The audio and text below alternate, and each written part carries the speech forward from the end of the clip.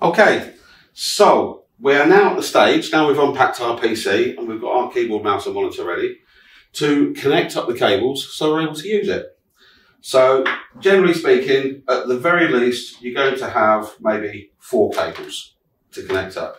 So we've got a keyboard and mouse, we have our power, and in this instance, we have a HDMI cable. On older machines, it may be a, a, a blue D-sub VGA cable, or if it's a higher end machine with a higher end monitor, it may be a display port, or it may be a DVI plug, which is generally speaking a white plug. Okay, but in this instance, we have HDMI.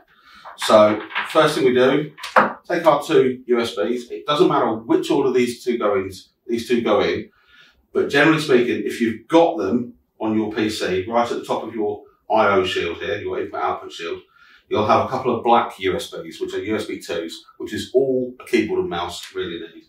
So we'll plug those two in there. Like I say, it doesn't matter which way around they go, the machine will determine which is which. We have our power, plugs down to the bottom in our power supply. In some more basic cases, your power supply might be mounted at the top of the case, in which case obviously it'll just come up and plug it. It can only go in one way. Now, your HDMI, this is where some people do get caught out.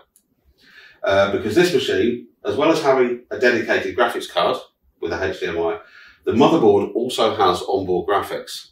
Now, but because we've got a dedicated graphics card, those outputs are overridden.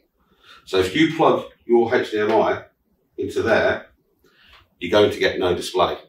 It has to go into the HDMI port on your graphics card. Into there.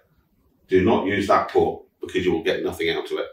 Um, same with if it was a display port and you had a high-end board with a display port out on the back here, you couldn't use it because your graphics card would override that port. And that is basically it. From there, we can switch the PC on and go into things like BIOS or go in, or install Windows if you haven't got it already installed, or just launch into Windows thank you